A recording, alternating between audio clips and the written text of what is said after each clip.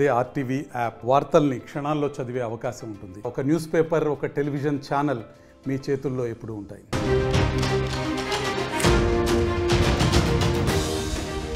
Breaking news చూస్తున్నారు. లేఖ మీద లేఖ రిలీజ్ చేస్తోంది శ్రీరెడ్డి. ఇప్పుడు మరో లేఖాస్త్రాన్ని ప్రయోగించిందా? మరో లేఖనైతే మాత్రం రిలీజ్ చేస్తుంది శ్రీరెడ్డి. దానికి సంబంధించి బ్రేకింగ్ న్యూస్ చూస్తున్నారు.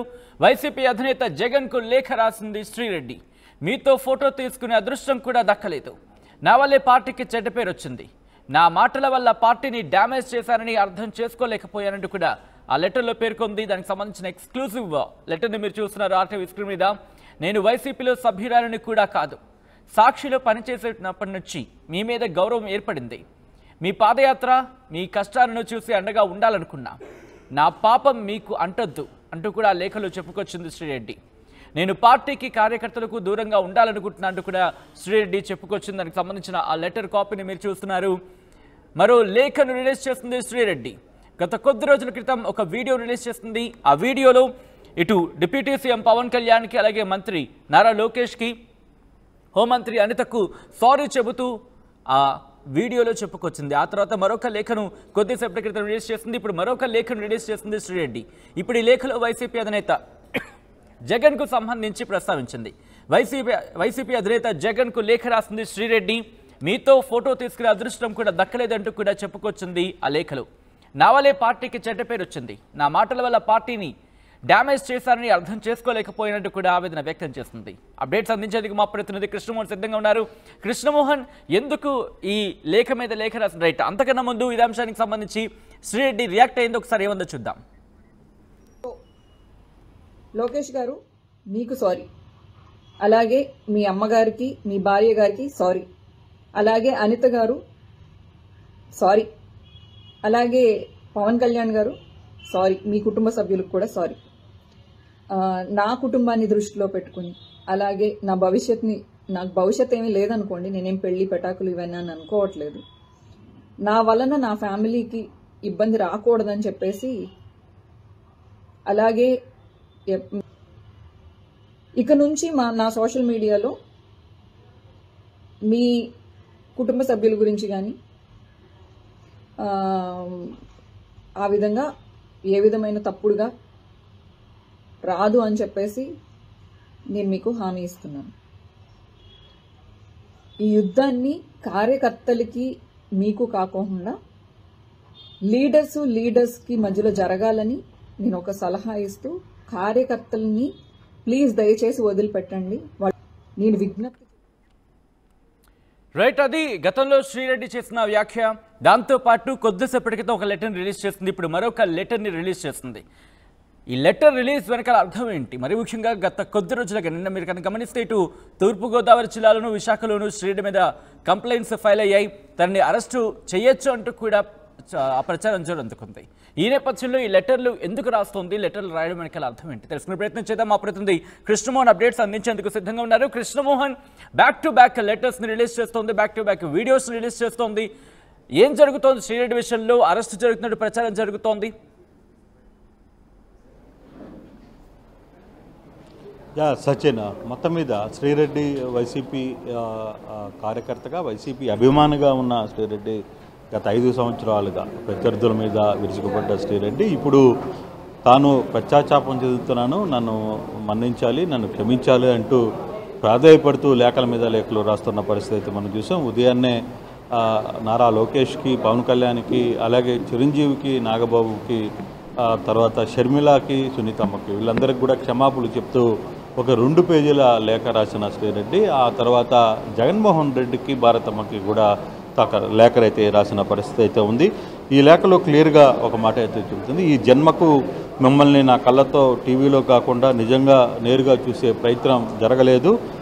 మీతో ఒక ఫోటో కూడా తీసుకునే అదృష్టం నేను కోల్పోయాను అని అనుకుంటున్నాను అని చెప్పి ఒక లేఖ ఎందుకంటే నా పేరుతో వైసీపీకి చెడ్డ పేరు తీసుకుని వచ్చాను.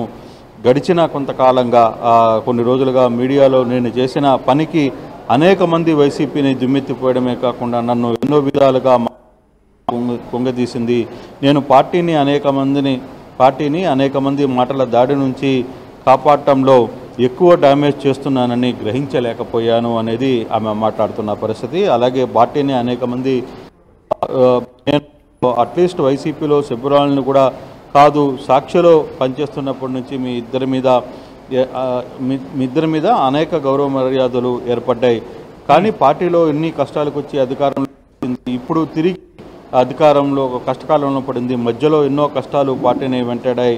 జగనన్న పాదయాత్ర కేసులు జైలు ఆయన జీవిత కష్టాలను చూసి ఆయనకు సహాయపడాలనుకున్నాను. వీర విధేయత అధికం అవడంతోనే ప్రత్యర్థుల నుంచి నా ఫిల్తీ లాంగ్వేజ్తో తెగబడుతున్నాను అనుకున్నాను. కానీ పార్టీకి అది పెద్ద డ్యామేజ్ చేస్తుందని నేను అనుకోలేదు అని చెప్పి ఆయన లేఖ రాసిన పరిస్థితి. నేను పార్టీకి పార్టీ కార్యక్రమాలకు దూరంగా ఉండాలనుకుంటున్నాను.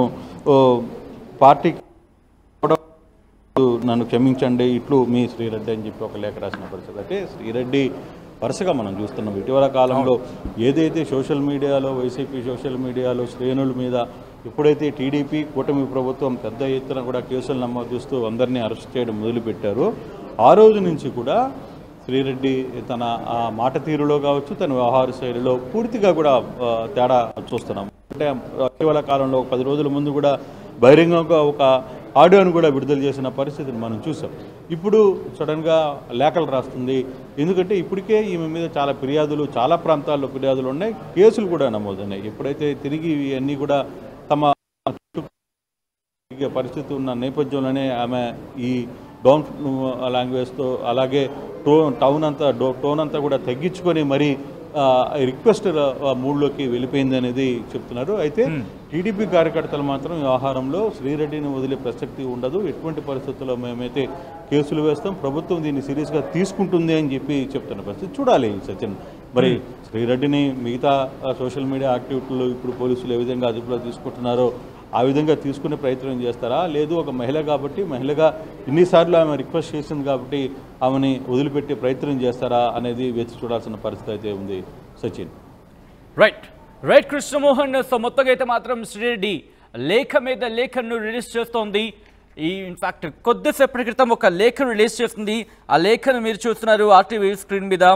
ఎక్స్క్లూజివ్గా మరి ముఖ్యంగా లోకేష్ అన్న అంటూ ఒక లేఖను రిలీజ్ చేస్తే ఇప్పుడు వైసీపీ అధినేత జగన్ని జగన్ పేరు ప్రస్తావిస్తూ మరొక లేఖను రిలీజ్ చేస్తుంది. ఎందుకంటే అంటే మీరు చూడొచ్చు నేను అట్లీస్ట్ వైసీపీలో సభ్యురాలను కూడా కాదు సాక్షిలో పనిచేసేప్పటి నుంచి మీ ఇద్దరి మీద అనేక గౌరవ మర్యాదలు ఏర్పడ్డాయి. కానీ పార్టీ ఎన్నో కష్టాలు వచ్చి అధికారంలోకి వచ్చింది. ఇప్పుడు తిరిగి కష్టకాలంలో పడింది. మధ్యలో ఎన్నో కష్టాలు పార్టీని వెంబడించే ఒక్కసారి ఆ లెటర్ని ఫ్రమ్ ద బిగినింగ్ చదివే ప్రయత్నం చేద్దాం. హోల్డ్ చేసే ప్రయత్నం చేద్దాం పీసీఆర్ ఫ్రమ్ ద బిగినింగ్ ఒకసారి వెళ్ళే ప్రయత్నం చేద్దాం. ఒకసారి ఫ్రమ్ ద బిగినింగ్ వెళ్దాం ఆ లెటర్కి సంబంధించి. ఒకసారి మీరు చూడొచ్చు. జగనన్నకి భారతమ్మకి నా హృదయపూర్వక నమస్కారాలు. ఈ జన్మకి మిమ్మల్ని నా కళ్ళతో టీవీలో కాకుండా నిజంగా చూసే అదృష్టం లేదనుకుంటా. ఒక ఫోటో కూడా తీసుకునే అదృష్టాన్ని నేను కోల్పోయాను అని అనుకుంటున్నాను. ఎందుకంటే నా పేరుతో వైఎస్ వైఎస్ఆర్సీపీకి చెడ్డ పేరు తీసుకొచ్చాను. గత కొన్ని రోజులుగా మీడియాలో నేను చేసిన పనికి అనేక మంది వైఎస్ఆర్సీపీని దుమ్మెత్తిపోయడమే నన్ను ఎన్నో విధాలుగా మానసికంగా కృంగతీసింది. నేను పార్టీలో అనేక మంది మాటల దారి నుంచి కాపాడడంలో ఎక్కువ డ్యామేజ్ చేస్తున్నానని గ్రహించలేకపోయాను. నేను అట్లీస్ట్ వైఎస్ఆర్సీపీలో సభ్యురాలను కూడా కాదు సాక్షిలో పనిచేసేప్పటి నుంచి మీ ఇద్దరి మీద అనేక గౌరవ మర్యాదలు ఏర్పడ్డాయి. కానీ పార్టీ ఎన్నో కష్టాలకు వచ్చి అధికారంలోకి వచ్చింది. ఇప్పుడు తిరిగి కష్టకాలంలో పడింది. మధ్యలో ఎన్నో కష్టాలు పార్టీని వెంటాడాయి. జగనన్న పాదయాత్ర కేసులు జైలు ఆయన కష్టాలు చూసి ఆయనకు ఉడతా సాయంగా ఉన్నారని అనుకున్నారు. వీర విధేయత అనే అంశాన్ని కూడా అక్కడ తాను ప్రస్తావించింది. అలా మీరు చూస్తే కనుక జగనన్న పాదయాత్ర ఇవన్నీ ఆ అంశాలు ప్రస్తావిస్తూ వీర విధేయత అధికం అవడంతో ప్రత్యర్థులను నా ఫిల్తీ లాంగ్వేజ్తో తె- తెగబడుతున్నాను అనుకున్నాను కానీ పార్టీకి డ్యామేజ్ చేస్తున్నాను అనుకోలేదు. నేను చేసిన పని వలన మీరు ఎంతో బాధపడి ఉంటారంటూ కూడా కంక్లూషన్ కంక్లూషన్లోకి తను రాసుకొచ్చిన సందర్భాన్ని ఆ లెటర్లో మీరు చూడొచ్చు. అయితే కొద్దిసేపటి క్రితం లోకేష్ అన్న అంటూ ఒక లెటర్ని రిలీజ్ చేస్తుంది. ఆ తర్వాత ఈరోజు ఇప్పుడు జగనన్న భారతి భారతమ్మ అంటూ కూడా మరొక లెటర్ని రిలీజ్ చేస్తుంది. ఇలా లెటర్ల మీద లెటర్ను రిలీజ్ చేయడం మీరు చూడొచ్చు లాస్ట్లో తను కంక్లూడ్ చేసే ముందు కూడా ఒకసారి వాళ్ళ కంక్లూషన్కి వచ్చినప్పుడు ఎందుకంటే అక్కడ కాస్త భావోద్వేగమైన భావోద్వేగమైన లైన్స్ కూడా మనం చూడొచ్చు. నా ఫిల్తీ లాంగ్వేజ్తో తెగబడుతున్నా అనుకునే పార్టీకి డ్యామేజ్ చేస్తున్నా అనుకోలేదు. నేను చేసిన పని వల్ల మీరు ఎంత బాధపడ్డారో నేను అర్థం చేసుకుని నా పాప మీకు అంటొద్దు. నేను పార్టీకి పార్టీ కార్యకర్తకి దూరంగా ఉండాలనుకుంటున్నాను అంటూ కూడా చెప్పుకొచ్చింది. అంటే ఇక ఇక్కడి నుంచి వైసీపీకి సంబంధించి మద్దతుగా మాట్లాడదా అంటూ కూడా క్వశ్చన్ రైజ్ అవుతోంది. కొద్ది రోజుల క్రితం తను మాట్లాడిన సందర్భాన్ని కూడా మనం చూసాం.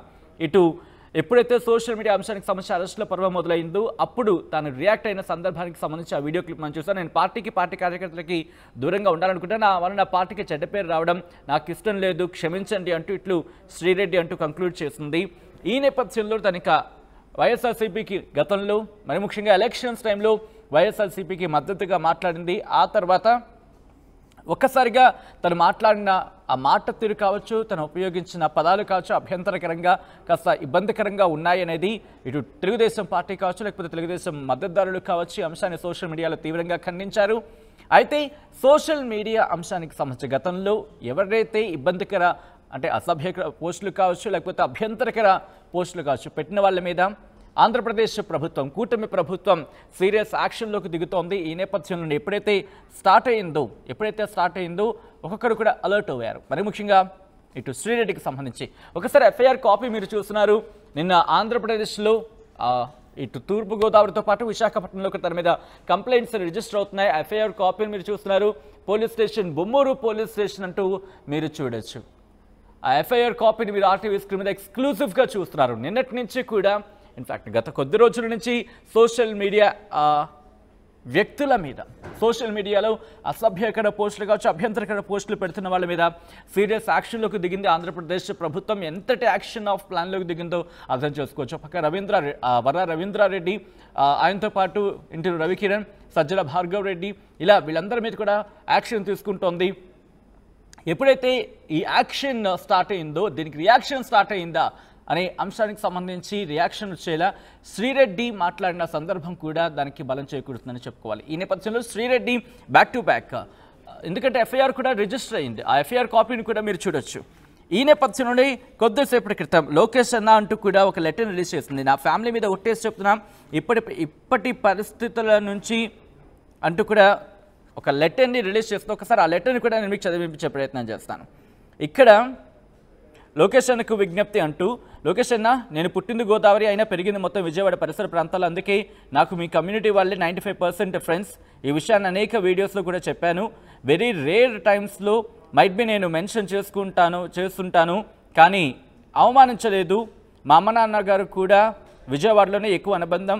అలాగే మా సొంత ఇల్లు గట్రా అక్కడే అమరావతి రావడం మా ఇంట్లో వాళ్ళని ఎంతో సంతోషపెట్టింది. ఎందుకంటే వాళ్ళకున్న అరకొర సొంత ఇల్లు రేట్లు పెరిగాయని అందుకే మా అమ్మానాన్నలు టీడీపీకి ఓటేశారు. లోకేష్ అన్న మీరు కొన్ని విషయాల్లో ఎంత ముందుగా ఉంటారో అంతకంటే ఎక్కువ మంచితనం కూడా ఉందని ఈ నా కేసుల విషయంలో మాట్లాడమని నేను అంతకుముందు వీడియోలో మెన్షన్ చేసినట్టు సారీ చెప్పింది కూడా అంటూ కూడా మా కుటుంబ సభ్యులే అంటూ కూడా ప్రస్తావించింది. ఎస్ ఒక్కసారి సో జగన్కి సంబంధించిన రాసిన లేఖ గురించి మనం మాట్లాడుకుంటున్నాం. అట్ ద సేమ్ టైం కొద్దిసేపటి క్రితం లోకేష్కి సంబంధించి కూడా లోకేష్ మంత్రి లోకేష్ని ఉద్దేశిస్తూ కూడా తను ఒక లెటర్ని రాసింది. బ్యాక్ టు బ్యాక్ ఈ లేఖాస్త్రాలు సంధిస్తోంది. ఎందుకు అనేది ఒకసారి కామెంట్ చేసే ప్రయత్నం చేయండి. శ్రీరెడ్డిలో రియాక్షన్ uh, మరి ముఖ్యంగా శ్రీరెడ్డికి సంబంధించి ఏమనుకుంటున్నారు?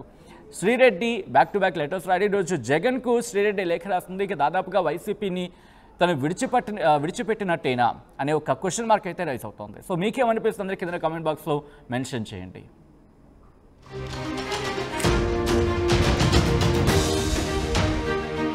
మరిన్ని వీడియోస్ కోసం ఛానల్ని సబ్స్క్రైబ్ చేయండి. లేటెస్ట్ అప్డేట్స్ కోసం వాట్సాప్ ఛానల్ని ఫాలో చేయండి. అండ్ లింక్ డిస్క్రిప్షన్లో ఉంది.